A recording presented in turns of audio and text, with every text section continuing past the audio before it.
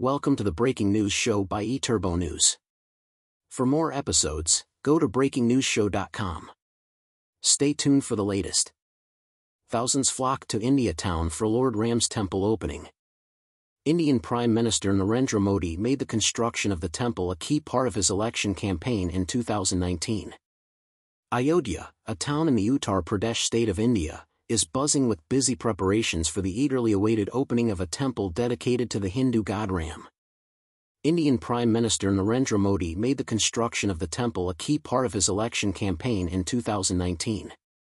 The temple's grand inauguration ceremony is taking place several months before the upcoming general elections, set for May 2024 erected on the location where a 16th-century mosque once stood, which was demolished by Hindu activists who claimed it was built on the remains of a Ram temple. The demolition of the mosque resulted in widespread riots. In 2019, following an 18-year trial focused on determining the legitimate owners of the land, the Supreme Court of India ruled in favor of the Hindus. This decision cleared the path for the construction of a temple dedicated to Lord Ram the city, said to be the birthplace of the Hindu deity, is currently experiencing a significant improvement in its infrastructure, leading to a substantial increase in property prices. The government has reportedly granted more than 12 permits for the construction of new hotels, with approximately $4 billion already invested in enhancing the city's infrastructure. More than 8,000 devotees, dignitaries and celebrities, including Indian Prime Minister Narendra Modi, are expected to travel to Ayodhya on January 22 for the grand opening of a highly significant religious undertaking, which happens to be one of the most costly ventures in India's recent history. Approximately 100 private jets are expected to land at the newly inaugurated Ayodhya airport.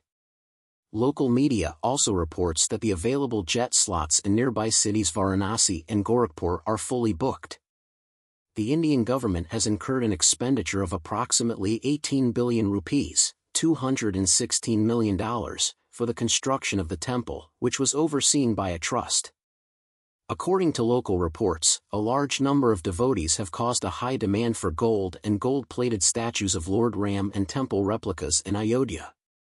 These items, priced between 30,000 rupees, $361, and 220,000 rupees, $2,647, have quickly sold out.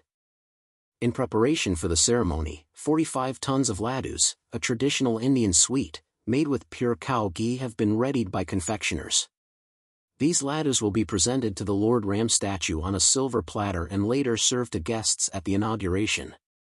Additionally, Indian celebrity chef Vishnu Manohar will personally travel to Ayodhya to cook halwa, another Indian delicacy, in a large cooking cauldron, to be shared with devotees.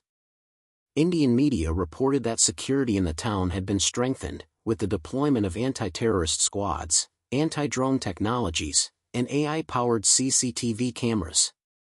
According to Praveen Kumar, the Inspector General of Ayodhya Police, approximately 1,000 special force personnel had been deployed to ensure security in various capacities. Thank you for listening. Watch and listen to more episodes on BreakingNewsShow.com.